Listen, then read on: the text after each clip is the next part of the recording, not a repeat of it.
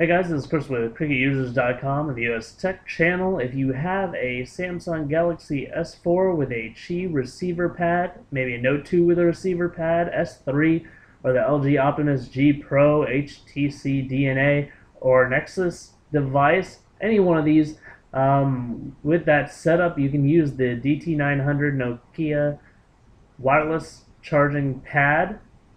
And right here, it's $25 ship so some of these go for that on eBay, but if you want to get it from a uh, standalone store, you can get it right here uh, in black and white. There's only 15 hours left on this deal, so take advantage of it now if you need a new uh, Qi uh, charging pad.